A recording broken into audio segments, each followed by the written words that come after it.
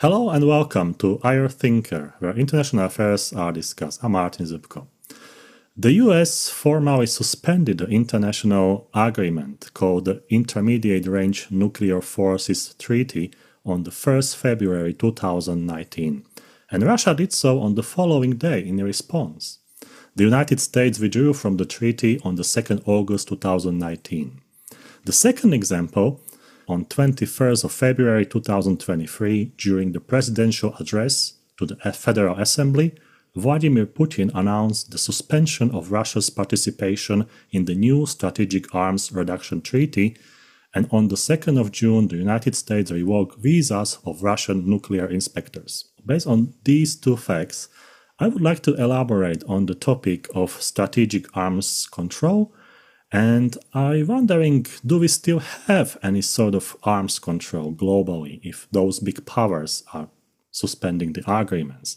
And sometimes it also seems that when Russia or United States they ignore the strategic agreement, will other powers stick to arms control or will they do the same?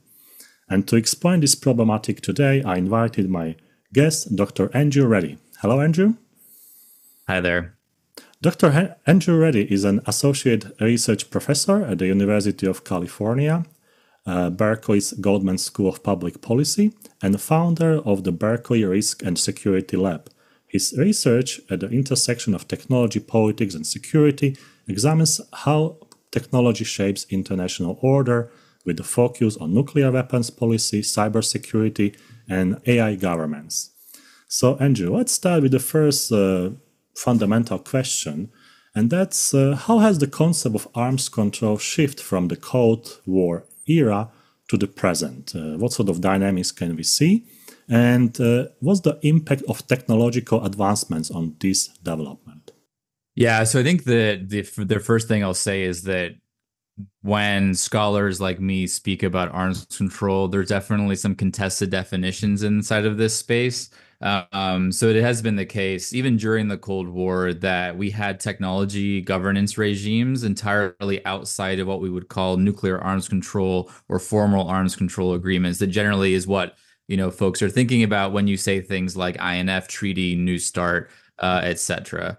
Um, obviously, in the years following the Cold War, um, you had effectively the continuation of a lot of the agreements that were negotiated kind of during that paradigm. Um, and we also had various different uh, arrangements to disarm and denuclearize countries that had nuclear weapons following the dissolution of the Soviet Union. And those kind of continued. And so ultimately, New START, which is a strategic arms reduction treaty um, that kind of sets a cap on the number and describes which types of weapons various different signatories are going to have, namely Russia and, and the United States. Um, you know that that was kind of what we thought of when we said um, arms control. Obviously, as you mentioned in the introduction, that kind of formal nuclear arms control layer um, has kind of disappeared over the last five or six years um, which is not to say that all of a sudden we have a significant increase in the number of nuclear arms uh, as the countries have effectively created this sort of normative cap. Uh, at least for now. Now, whether that holds into the future or not, I'm sure we'll talk about. Uh, but you know, we'll, we'll kind of see there.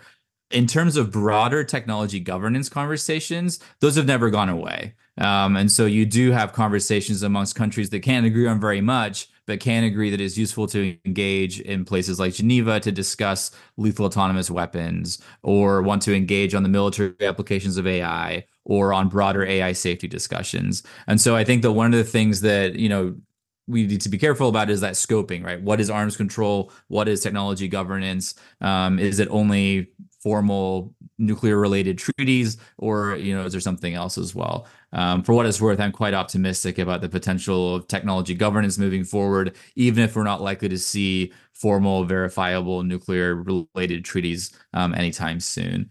In terms of how technologies in general are changing arms control certainly they change how you would want to think about verification regimes. Um, so a lot of work has been done among scientists and engineers to kind of ver- create tools that can help us verify that countries are uh, are actually abiding by their agreements. Um, so that's something that's changing. But of course, technologies are also changing what's actually relevant to think about governing in the future. Um, and so you've got again two different kind of roads to go down when you're thinking about the impact of emerging tech in this space. When we speak about arms control, and, and this is this is a good point that you mentioned that we have more categories of, of uh, weapons. So mostly is it about nuclear weapons or or what is the second or third place when we speak about arms control? Because some people might also consider chemical weapons, maybe biological weapons. So is this whole package of the control? Absolutely. Um, so the chemical weapons convention is a really good example. Biological weapons convention. Um, there's also historical examples of limits on conventional capabilities. Uh, so, for example, the Washington Naval Treaty that was dealing with capital ships, um, and the more recently the Conventional Forces in Europe or CFE Treaty um, did the same. Um, and if, so, effectively, you can think about any number of arrangements that are going to limit um, either the proliferation of capability, the deployment of capability, or the use of capability. Um, and there's different reasons for doing so um, across this space. And so, yeah, I mean, I do, I do in my work, I take a very broad view of what constitutes arms control or technology governance, uh, because we do actually have a lot of different examples to touch on. Um, the other category that's worth noting here as well is that there are domain related agreements. So, for example, the Seabed Treaty or the Outer Space Treaty that deal with the impact of weapons, whether they be nuclear or conventional, across a domain. Um, and so that's important to note as well. Um, so again, you know, it's it's sometimes worth taking a little bit of an expansive definition here um, as well.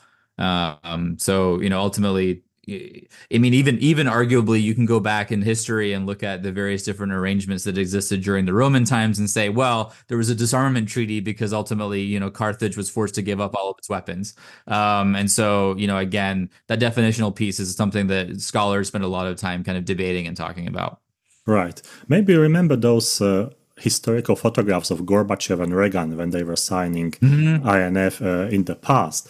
And, and then yeah. we, we had a sort of period of time that arms control was quite successful. What were the factors that contributed to that success?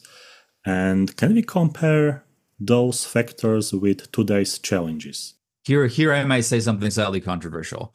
Um, so, in in in my view, arms control arrangements and technology governance arrangements reflect a strategic calculus amongst those that sign the agreement that the agreement is worthwhile for them. So ultimately, in my view, um, when when I'm doing my work, arms control agreements are coming from a strategic basis, not a normative basis.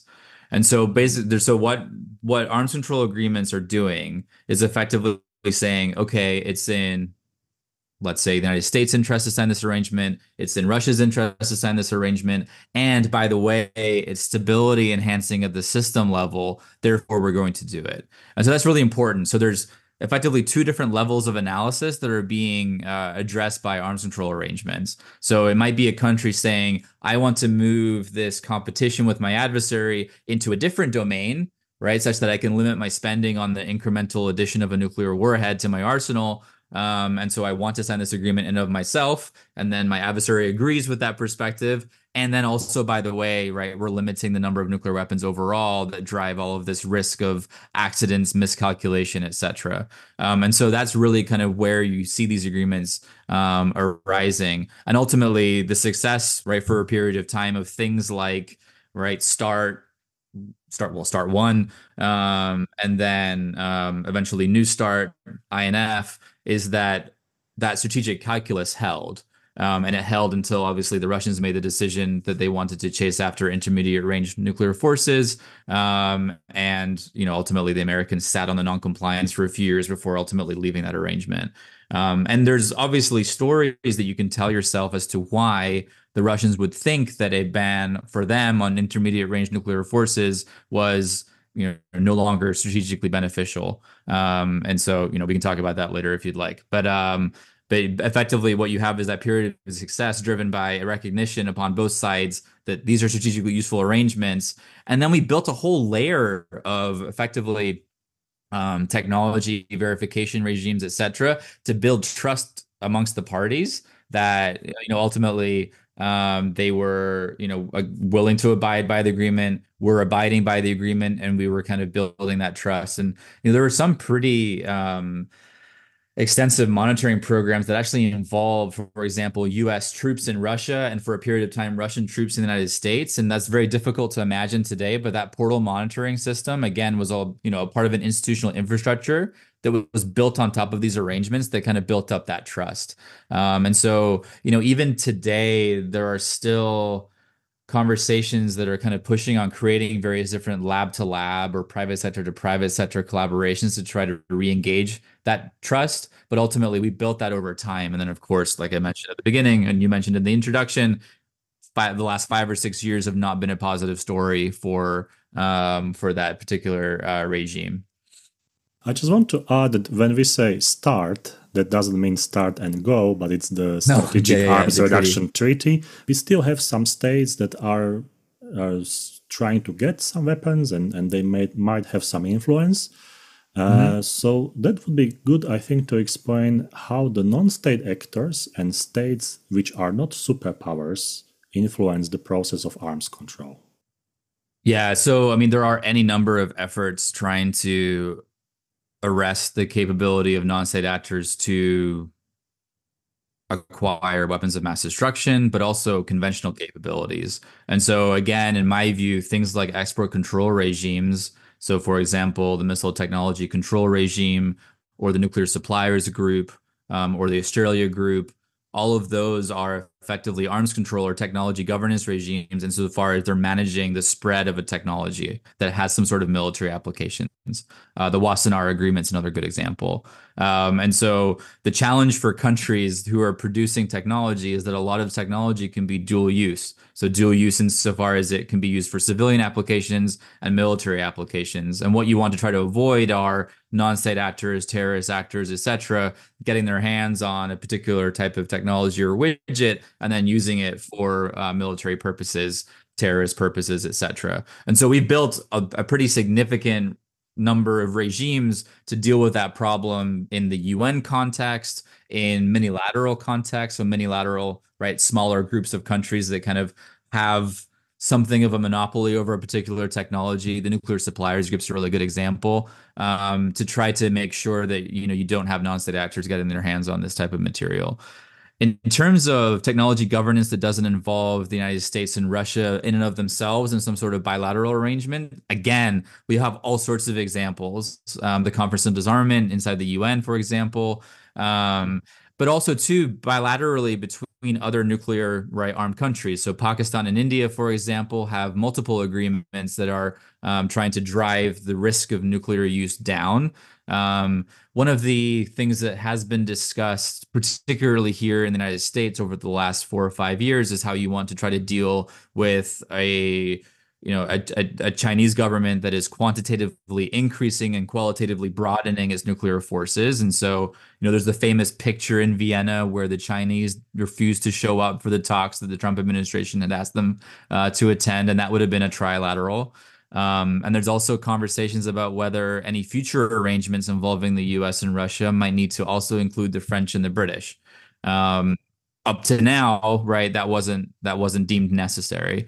Um, and then, of course, you've got North Korea lurking in the background, who has no agreements with anybody, uh, but you know, the ostensibly, you know, may or may not take instructions from Beijing. So, um, you know, it's definitely becoming an increasingly complicated picture.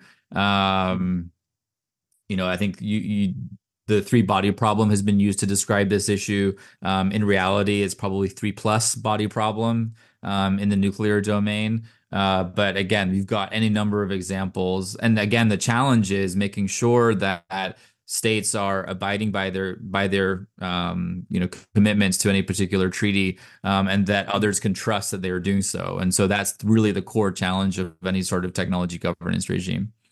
Andrew, when we have, uh, for instance, finance, there is the International Monetary Fund or World Bank. So yep. these institutions are keeping an eye on those old regimes and multilateral initiatives.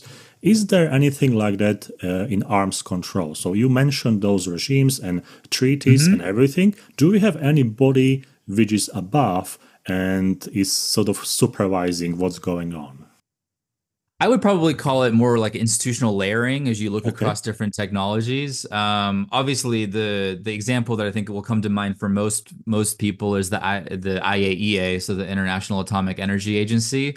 um, and they're responsible for non-proliferation so making sure that the non-nuclear weapon states right don't acquire nuclear material um, and they're primarily worried about the the um, the divergence of material used in the civilian nuclear energy sector and then moving that over into the military sector um, and so that's why they built you know a, a, pretty significant safeguards regimes called nuclear safeguards safeguards regime to stop that from happening um, and so one of the, the, the great challenges for the IAEA is to make sure that all of humanity right derives the benefit of nuclear technology primarily via energy. Um, although some of the nuclear propulsion use cases in space also fall in that category. Um, but that you don't have the proliferation of nuclear weapons. And so basically, the IAEA is connected to the Nuclear Nonproliferation Treaty. Um, and the Nuclear Nonproliferation Treaty is pretty special, um, right? So in 1995, when that treaty um, was revised to last in perpetuity, it was one of the very first arrangements that basically had countries agreeing that there were differences among them that was intrinsic um, and that some countries could have nuclear weapons and other countries could not.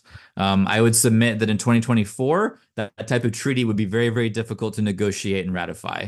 Um, so um, that's what the IAEA is set up to do, and so that gets the that gets the lion's share of the attention. Uh, but like I said, all of the export control regimes that exist multilaterally are definitely in bounds. The various different UN committees um, are also in bounds. Um, and again, it's kind of they all layer upon one another.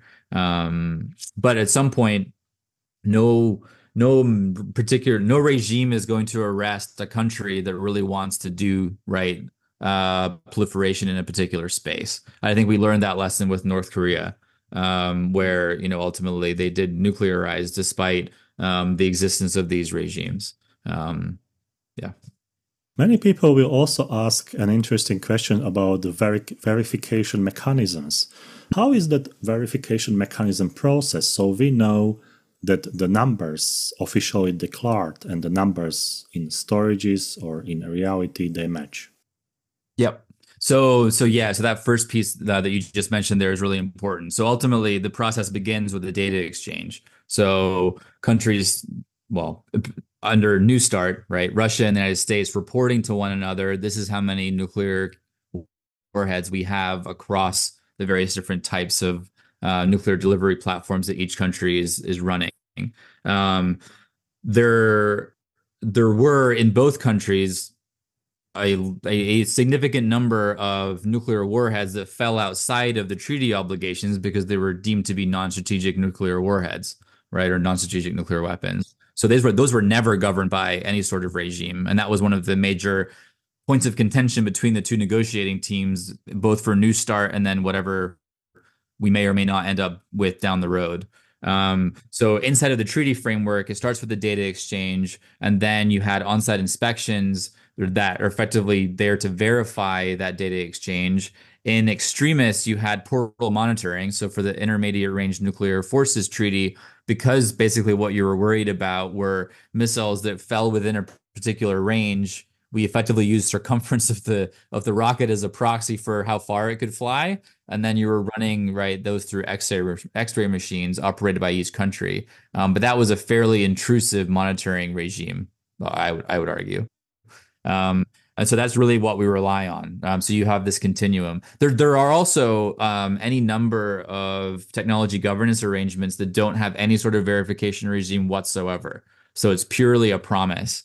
Um, and also, there's another category where um, you've got regimes that are governed by um, what's euphemistically termed national technical means. So that's effectively the use of intelligence assets to make sure that you know the two parties to an arrangement are actually abiding by the caps that are set on the number of warheads, number of delivery platforms of a particular type, or what have you.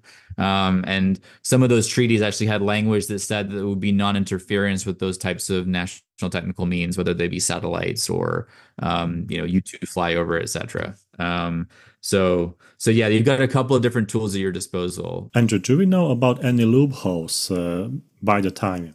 About those uh, mechanisms. So, in order, I mean, different countries do this differently, right? So, for the United States, right, to make a determination of compliance or non-compliance on an, an arms control agreement that has a formal treaty framework, um, you know, effectively you have, have both sides for any particular on-site inspection regime because it involves putting foreign nationals on effectively a military base of which you have the most sensitive types, right? They are nuclear assets after all.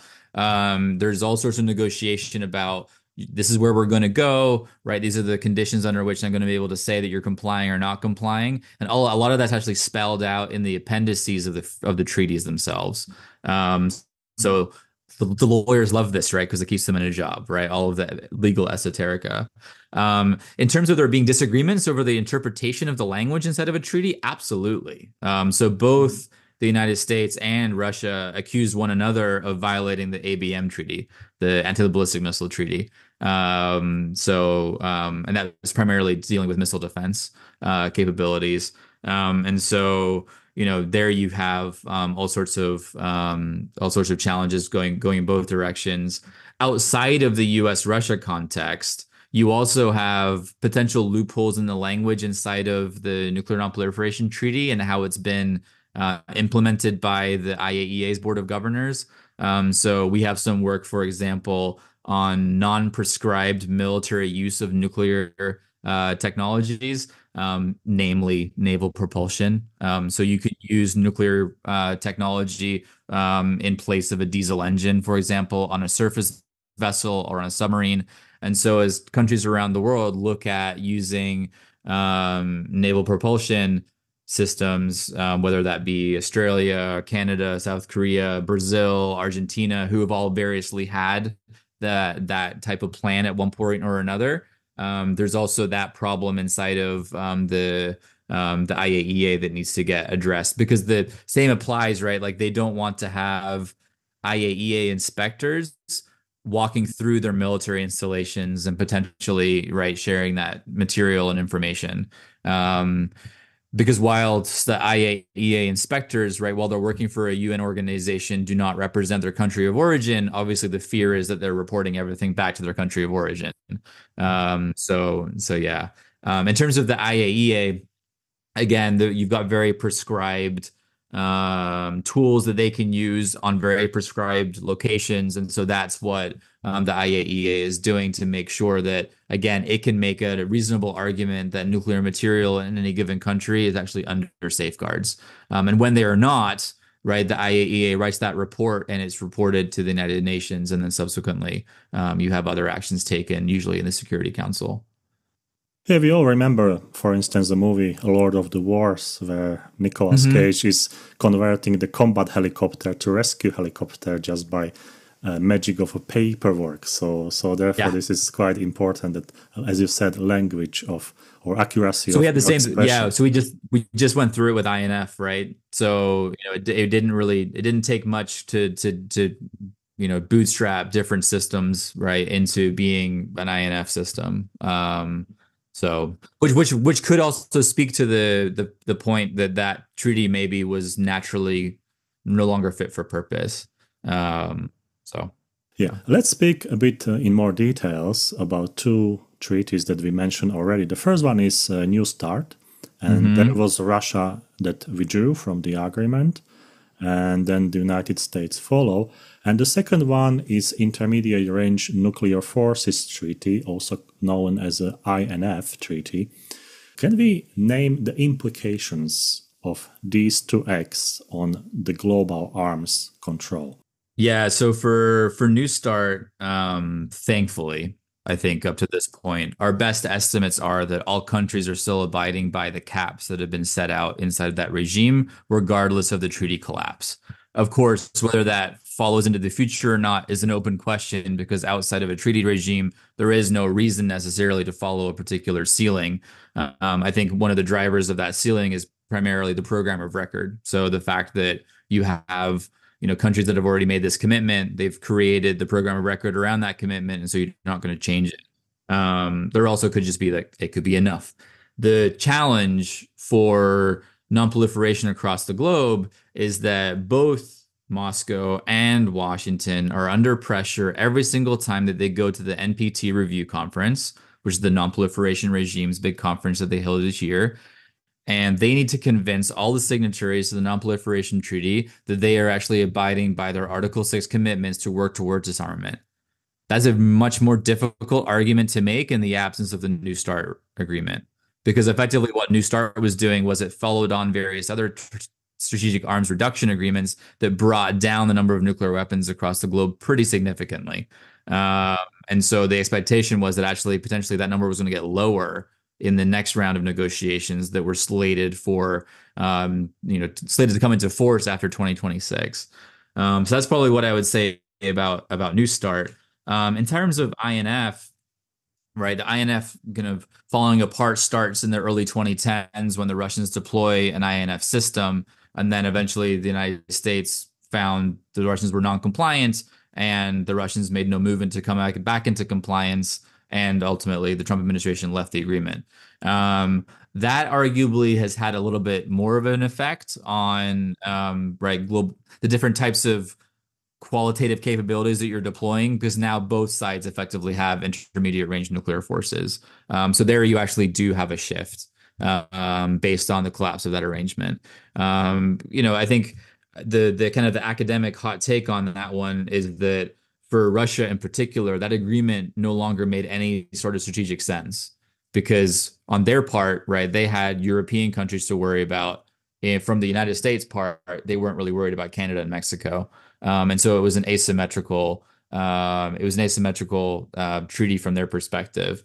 Now, one of the interesting things that's maybe an unintended consequence of INF falling apart is that now the Americans have a little bit more freedom of action in East Asia than they might have had otherwise. Um, as you know, one considers forward deployment of nuclear capabilities in places like South Korea um, or what have you. Um, and so, one of the funny things about INF was that it was actually limiting American freedom of action in East Asia um, and there were some conversations and arguments about that um, in the U.S. context. Uh, but now the INF treaty's gone away, right? There's no limit there.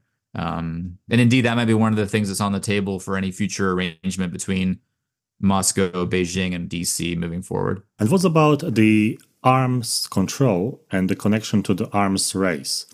Do you think that now new arms race has started as there is no specific agreement Mm-hmm. Maybe maybe those big powers or middle powers they might feel some sort of freedom. Oh, the big ones are not following the suit, so let's do something, yeah. and also let's benefit from this situation. Yeah, that's that's the fear. I mean, I think that the the major the major country that's driving proliferation of nuclear capability across the globe currently is China. So you've got quantitative increases, and obviously there's disagreements about what those ultimate numbers are going to be. Uh, but let's say, for the sake of the argument, the U.S. DoD is right, and that it's a thousand, you know, thousand nuclear weapons by 2030. So you've got a significant increase of quantitative capability in China, and then you've got qualitative broadening, right? So you've got the proliferation of a submarine capability and the ICBM silos that right colleagues like Matt Korda and Decker Eveleth have gone and found um, in the open source. Um, and so um, you've got that change. Now, in the United States, you've got a constituency in Congress that says, well, the United States needs to have the number of nuclear weapons that matches the Russians plus the Chinese together, right? In my view, that's not the right way to think about that problem. The right way to think about the problem is how you offset the capabilities that your two adversaries are deploying. And that could mean quantitative increases and qualitative broadening at the margins. So in the United States, right, we have SLCM-N, the submarine launched cruise missile, um, this nuclear tip that's being developed, and that's part of that broadening. Um, but hopefully, right, for those of us that want to try to drive nuclear risk down, it doesn't involve too much quantitative increase. Um, and at the same time, of course, the issue is that you've got something of a contagion, right? So, right, China's capabilities is eventually going to impact India's capabilities, which is going to impact Pakistan's capabilities.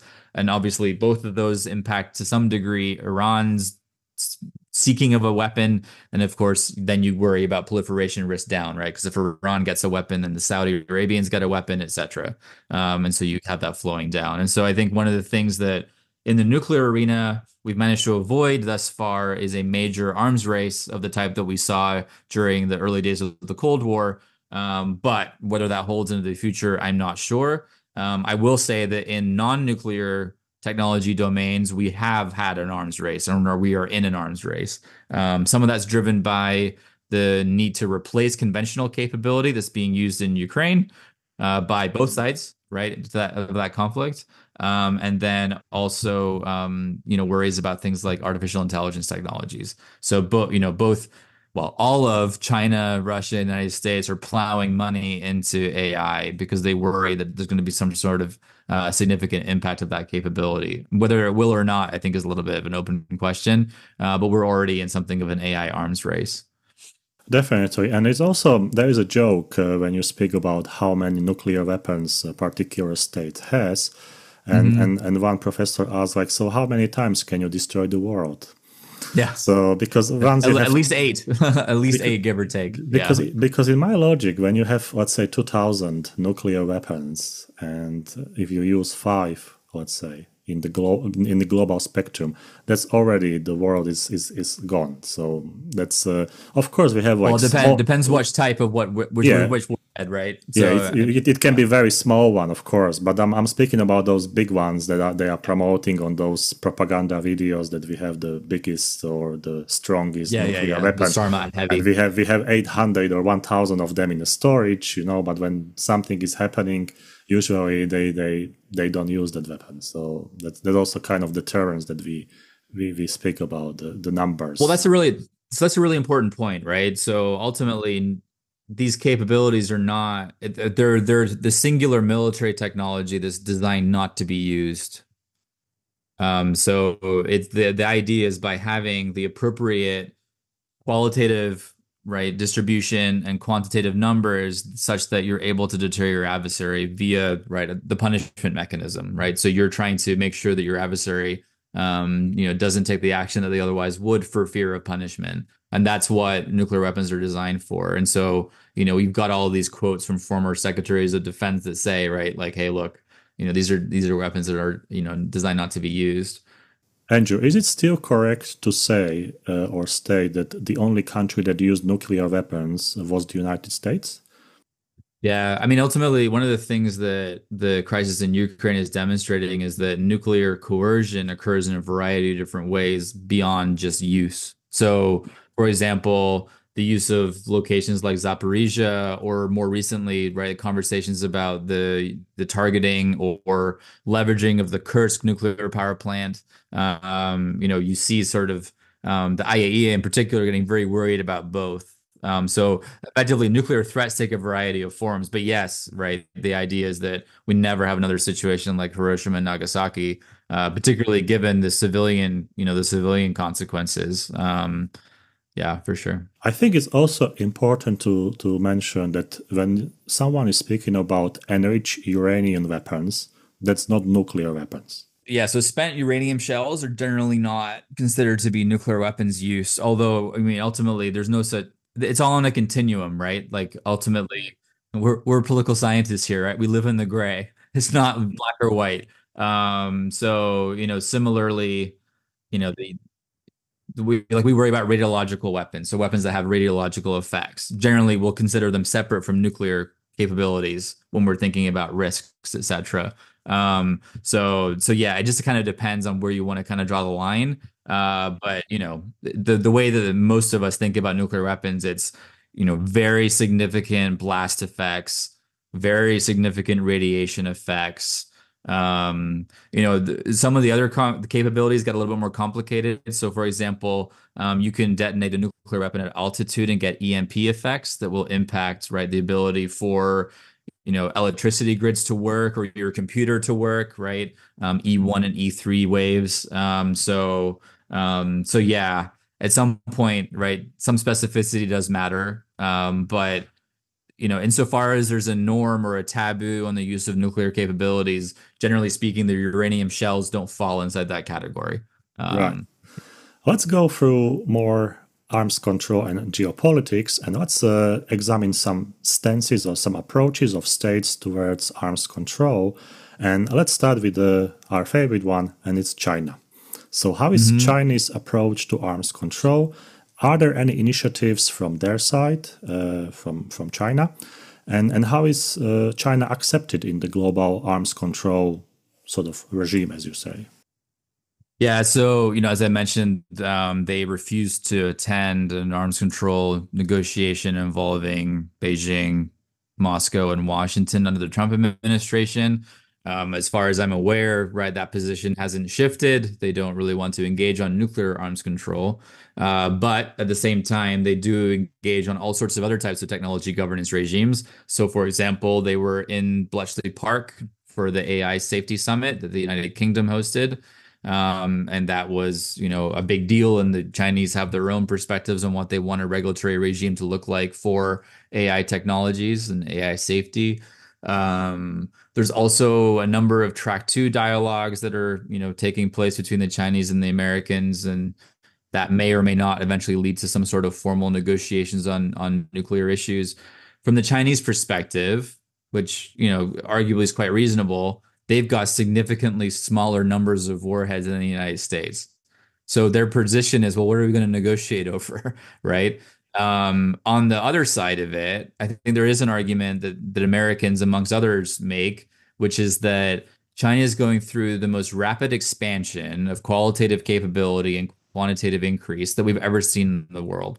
And so, if you if your primary worry about nuclear weapons is not their use in war, but actually some of the inadvertent uses of capabilities in terms of accidents or uh, what have you, you're really worried about those those that proliferation time horizon because you're really worried that things might go wrong. And so I think that's something that you know certainly the United States has a history of actually sharing various ways to handle nuclear material in a weaponized context to try to drive down that risk. So, for example, in the 1990s, and Scott Sagan's got some very good work on this, um, there was a lot of Americans sent to Pakistan to actually help them do, do, do basically providing technical assistance to try to make their nuclear capability as safe as as, as humanly possible. Uh, so, you know, I think that there's you know potential space for that too. But but yeah, there's not much of an appetite um, on the on the Chinese side to engage in formal arms control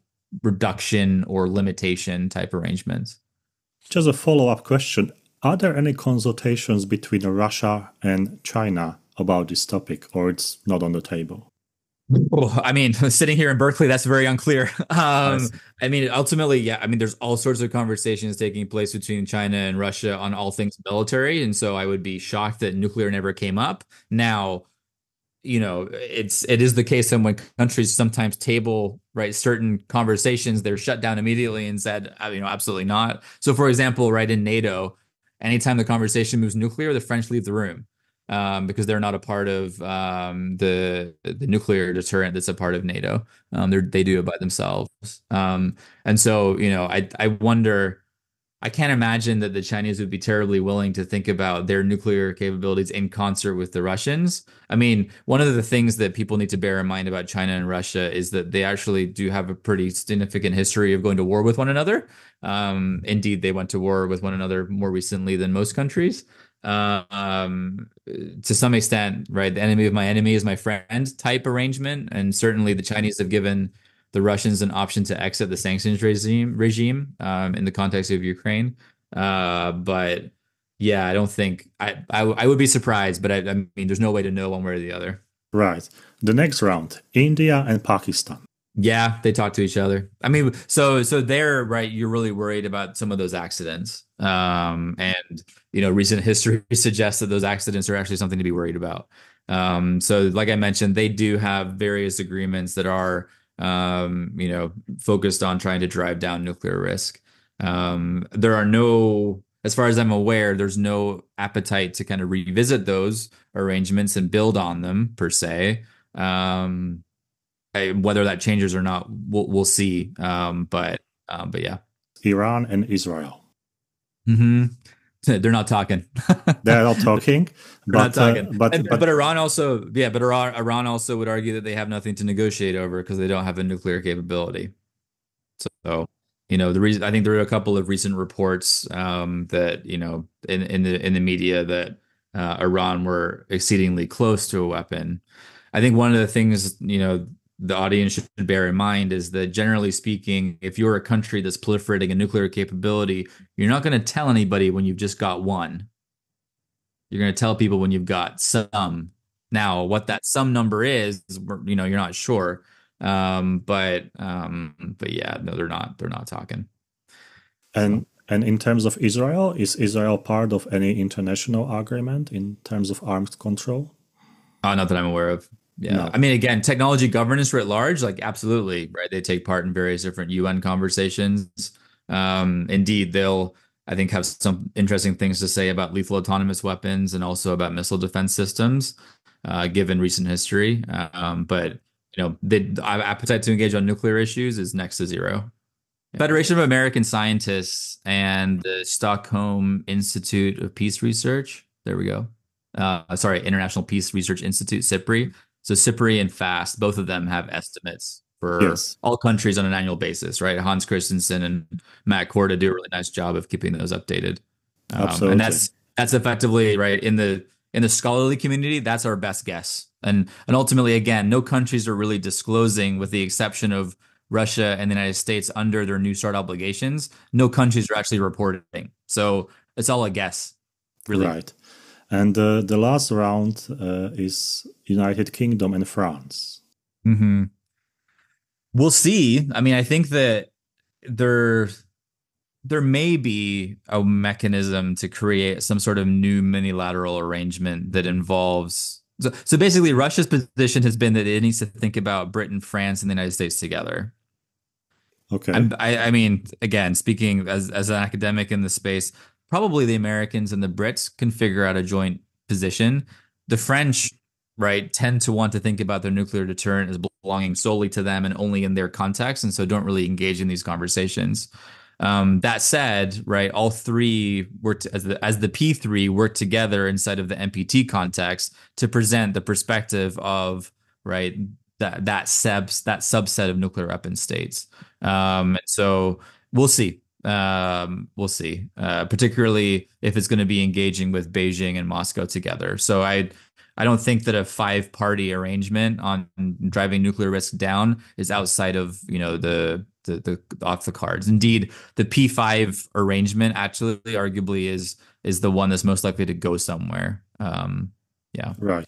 I skip North Korea because I think the answer is clear over there. Yeah, yeah, yeah. That's right. Unfortunately, the, the country remains closed in, in for, for these questions at least.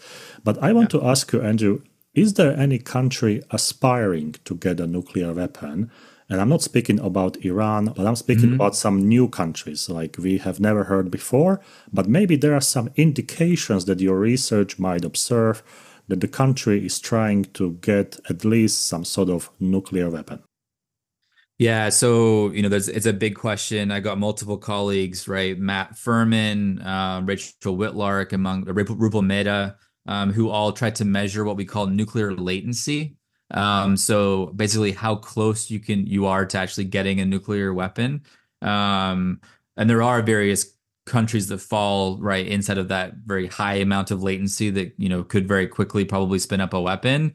Um, so as I mentioned in in the context of the Iranians' potential to proliferate Saudi Arabia is in this conversation, uh, by virtue of their fairly advanced nuclear energy capabilities, South Korea, Japan, and Germany are also a part of this story. Um, in terms of countries that are um, you know looking at nuclear technology for military purposes, right? Things like the AUKUS agreement that involve the Australians, right? That's another country as well inside of that context. So for them, right, it's for naval propulsion. Um, but but yeah, those are the those are the ones that I think are, are kind of top of mind. And one of the things that the United States has tried to do by virtue of its extended deterrence relationship with Japan and South Korea is try to arrest their drive to actually engage in nuclear proliferation. Um, so recently, um, the United States and the South Koreans signed the Washington Declaration, which actually involved a step increase in the amount of nuclear sharing. And so the South Koreans have actually created their own version of STRATCOM to engage on nuclear issues with the U.S. And the U.S.'s position is that it would like it would prefer all else equal for the South Koreans not to create their own deterrent, um, and that they ought to rely on the United States. Um, so so those are the countries that are kind of in the um, in in that conversation.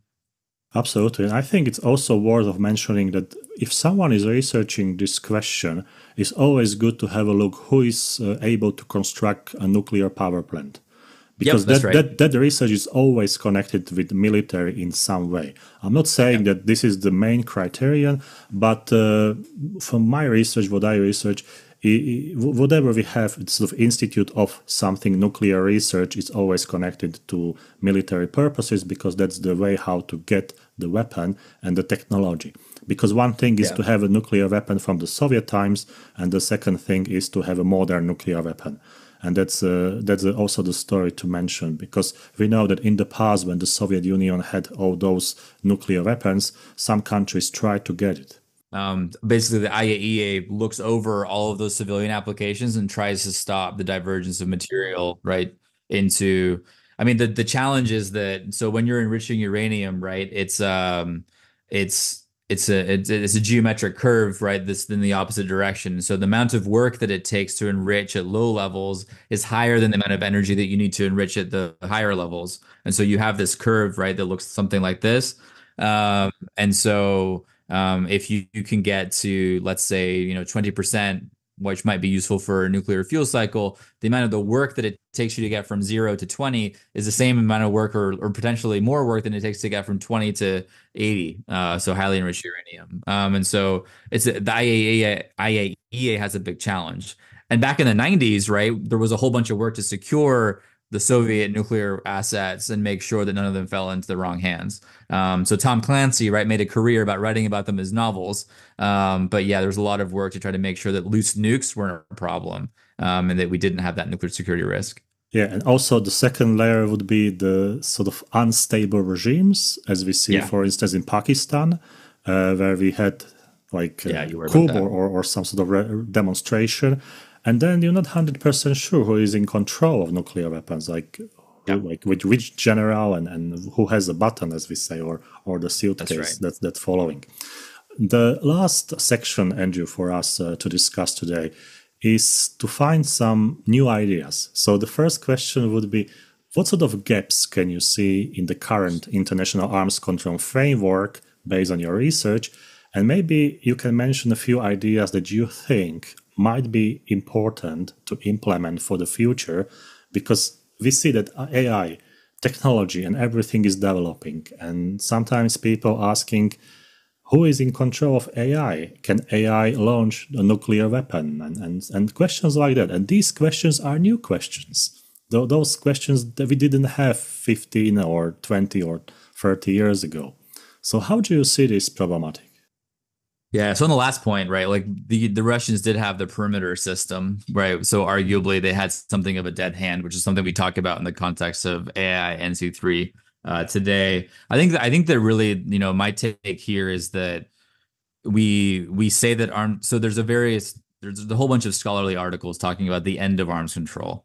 Um, and you know, fundamentally, I disagree. Right? I think it's potentially the end of the bilateral formal arrangements inside of treaties that we got used to, at least for a period of time. But there's a whole bunch of technology governance work to be done regardless. Um, and that, you know, ultimately in some in some cases, you know, creating arrangements that don't necessarily have the strongest verification regimes is actually fine right? You can rely on things like national technical means in order to try to verify. Uh, but sometimes the talking is the best that you're going to be able to get. And so you should try to engage. Um, and so, you know those are the types of things that um, that certainly you know I, I I've been calling for, and it comes from working at track twos to track 1.5s to get yourself those track ones on the back end, and so um, that's kind of how how I think about that issue. Um, in terms of the broader set of new technologies, the very first place that these conversations live when they kind of rise is the uh, conven- the convention on certain conventional weapons, uh, which is a really bizarre name for a tre- for for a convention in the UN. Um, so that's actually where things like lethal autonomous weapons fall. Um, and so the CCW is ultimately where they start, and then it becomes a question of how you kind of deal with it. So, for example, with AI military integration, that conversation is taking place in REAIM, right, which is being led by the South Koreans now. It was led by the Netherlands before, um, and so you know, again, a lot of this stuff is about thinking about principles and norms and codes of conduct, right, etc. Um, and you're trying to start to build some sort of regime around them. Uh, um, so I think that's where that's where most of the work is. Are there any incentives that the global community can offer to countries and say, look, we know that you can get a nuclear weapon or you have nuclear nuclear weapons, but uh, here are some incentives, and if you follow them, maybe you can forget about it and, and focus on something else. Oh, absolutely. So the nuclear regime, in my view, is built on carrots and sticks. So the carrot, the carrot, right, of the non-proliferation regime is you will have access to nuclear technology for power, for medicine, right, etc. Um, so that's that's the carrot, right? The stick is if you do not abide by the agreement, you're going to get sanctioned, right? Um, you're going to be pulled up in front of the UN Security Council, etc. And so um, those carrots and sticks have always been uh, what bolstered that particular regime. So even if you have a sort of digital governance, how can you secure the nuclear weapons as a one country? Should there be a multilateral initiative to secure those weapons and sort of and sort of transparent reports uh, about how secure are the nuclear weapons in particular country? Because this is a big concern, I think. And also with those unstable regimes, a, a person can change, a prime minister can change, and someone might use this opportunity to get some malware or some cyber attack on those facilities. So, how do we know that in all those countries that have nuclear weapons, the people are serious about those defense measurement? I mean, ultimately, you rely you're relying on it being their it being in their interest to harden against that type of attack. So, you know, all nuclear weapons, regardless of who has them, um, has to address the always never dilemma. So you always want to have your nuclear weapons available to you. And when you choose to use them, you always want them to work. You never want them to go off and be used when you don't want them to work. And so all countries need to solve that always never dilemma. And there's any number of things that you do to try to drive down that risk. So, for example, um, with regards to cyber risk, you don't have, right, the internet inside of nuclear systems, right? You want to you don't want you want to separate your IT technology from your OT technology. Um, you know, you want to look at your supply chain risk all the way down, right? Because obviously technologies are agglomerations of you know other bits, right, other parts. Um, and so you do that cyber risk profile all the way down your supply chain.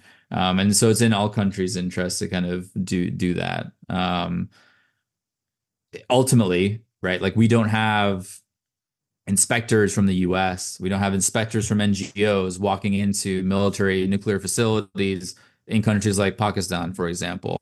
Um, right. Like I said before, there's various different types of technical assistance that you try to do to drive down the risk of nuclear accidents and what have you. But ultimately, it's each country's sovereign responsibility to kind of deal with, you know, if they've chosen to proliferate nuclear weapons, they need to figure out how to make it safe.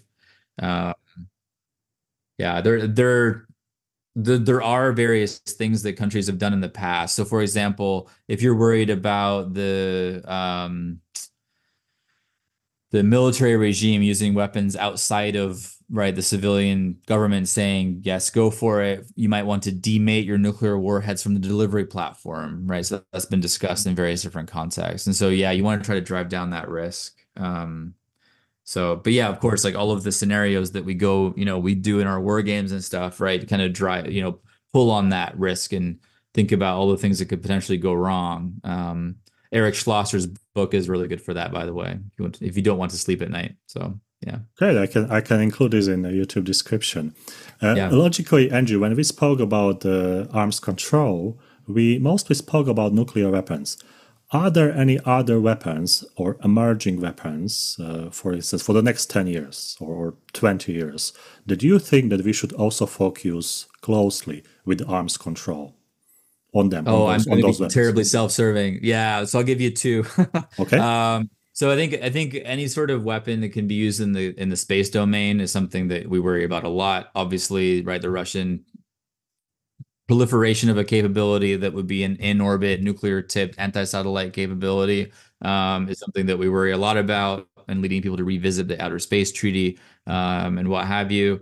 And so, you know, co-orbital systems, even direct ascent, um, anti-satellite capabilities. Um, I think that's a, that'll that'll be a place where where we look pretty closely. Um, and then the various different combinations of AI technologies and military assets um, as well. So, you know, we already have, I think SIPRI numbers put it at something like 80 deployed autonomous weapons that are we already have right out there in the world. Um, primarily, those are missile defense uh, capabilities, uh, but that'll also be a place where you know people are spending a lot of time. Um, I don't put a lot of stock in the AI X nuclear conversation. Um, because I mean, AI capabilities have been used for things like early warning for like five decades, uh, but you're not going to see an AI dead hand system um, anytime soon. I wouldn't have thought, um, but primarily because it's in danger of leading to an accident, right? Not not because it wouldn't help you with deterrence overall, but because you worry about the system, right, failing that always never problem that we talked about earlier. Um, so th- those are the two places that I would probably look first. There are conversations about how to think about control of hypersonic weapon systems.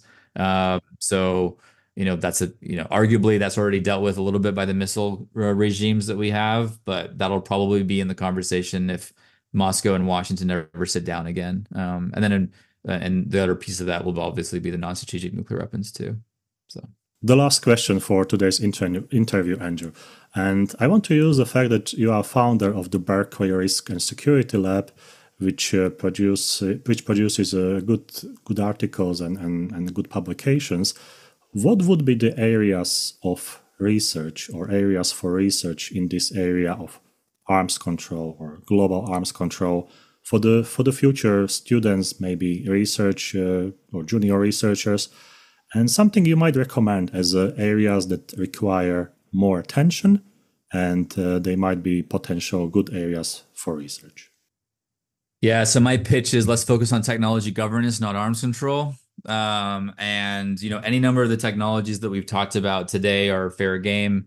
Um, you know, obviously my lab's really focused on the emerging technology tech set. Um, so right, artificial intelligence, cyber capabilities, um, quantum sensing capabilities, which may be more interesting than quantum computing capabilities. Um, so you know, I think there's any number of things, but also not to you know not to lose sight of the you know there there can be a tendency to get very wrapped up in the emerging tech issue.